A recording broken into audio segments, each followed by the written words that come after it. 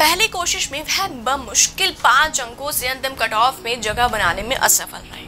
फिर भी उन्होंने किस प्रकार अपने द्वितीय प्रयास में खुद में सुधार किया और एक आई बन गए आइए जानते हैं आज की इस वीडियो में। तो नमस्कार, आप सभी का स्वागत करती हूँ प्रभात एग्ज़ाम के यूट्यूब चैनल पर। यह एक ऐसा प्लेटफॉर्म है जहाँ आपको मिलती है सभी कॉम्पिटेटिव एग्ज़ाम से संबंधित महत्वपूर्ण जानकारियाँ। जो आपको किसी भी एग्ज़ाम में सफल होने में मदद कर सकती है। अगर आप हमारे यूट्यूब चैनल पर पहली बार आए हैं तो हमारे चैनल को लाइक और सब्सक्राइब ज़रूर करें और साथ ही हमारी सभी वीडियोज़ को सबसे पहले देखने के लिए बेलाइकन ज़रूर दबाएँ। तो चलिए, बिना किसी देरी के शुरुआत करते हैं आज की इस वीडियो की। दूसरी बार दी यूपीएससी की परीक्षा के दौरान उन्होंने उन क्षेत्रों को पहचाना जहाँ उनके लिए सुधार की अच्छी खासी गुंजाइश थी। लिहाजा, वहाँ उन्हें और ज़्यादा प्रयास करने थे। वह अपने दिमाग के भीतर लक्ष्यों का पीछा कर रहे थे। निबंध में पैंतीस अंकों का सुधार किया जा सकता था। मनोविज्ञान में भी करीब 30 से 35 अंकों का सुधार हो सकता था। सामान्य ज्ञान में कुल मिलाकर उन्होंने अच्छे अंक प्राप्त किए थे, फिर भी 20 अंकों का और सुधार किया जा सकता था। इंटरव्यू तक में भी पाँच से दस अंकों के सुधार की गुंजाइश थी। लिहाजा उन्होंने निबंध और वैकल्पिक विषय पर ज़्यादा ध्यान देते हुए अपने समय को बांट लिया। जीएस में ज़्यादा अंक लाने के लिए उन्होंने मूल्य परक सामग्री को इकट्ठा करने की कोशिश की। आखिरकार उन्हें वैकल्पिक पेपर पे इसका बहुत अच्छा फल भी मिल गया। जीएस के बाकी पेपर्स को मिलाकर उनके पूरे टर्म के अंक पिछले साल के मुकाबले कुछ कम थे। लेकिन तुलनात्मक रूप से उन्हें पक्का यकीन हो गया था कि यह देश में टॉप फाइव या टॉप टेन में ज़रूर शामिल होंगे। पता नहीं क्यों, निबंध में उन्हें उम्मीद के मुताबिक नंबर नहीं मिले। हालाँकि आज तक उन्हें लगता है कि उनका सबसे अच्छा पेपर निबंध का ही था। चलिए इसे वह खुद के लिए एक अनसुलझी पहेली मान सकते हैं। साक्षात्कार में भी उन्हें पहले के मुकाबले छह अंक ज़्यादा मिले तो कुल मिलाकर यह कहना सही था कि निबंध के पेपर के अलावा उन्होंने जिन जिन क्षेत्रों में मेहनत की थी, उन्हें उनमें अच्छे खासे नतीजे दिखाई थे, जिससे उन्हें अच्छा रैंक लाने में मदद मिली। लिहाजा एक बार फिर वह इस परीक्षा में सफलता हासिल करने के इच्छुक सभी लोगों से कहना चाहते हैं कि अपनी कमजोरियों का बारीकी से विश्लेषण करें।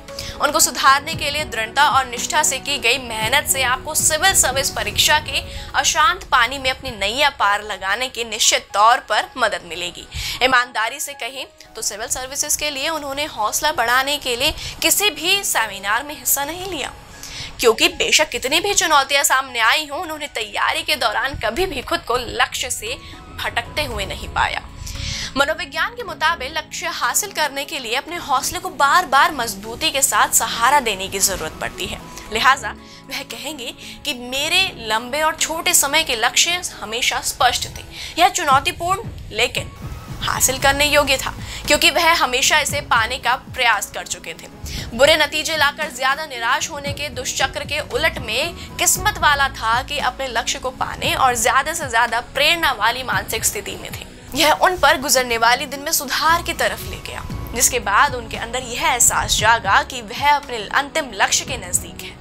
इसने उनके हौसले को बनाए रखा। वह इसका थोड़ा बहुत श्रेय, सकारात्मक सोच और सचेत मन से सिविल सर्विसेज़ को चुनने के लिए अपने फैसले को भी देना चाहते हैं। उन्होंने सिविल सर्विसेज़ जैसे अनिश्चितताओं से भरी परीक्षा की तैयारी के लिए अपनी अच्छी खासी तनख्वाह वाली नौकरी तक छोड़ दी। क्योंकि यह होशा हवास में किया गया फैसला था। लिहाजा उन्होंने करीब 28 महीनों तक लगातार एक ही जैसी दिनचर्या जीने के बावजूद तैयारी वाले चरण में किसी तरह का दबाव महसूस नहीं किया।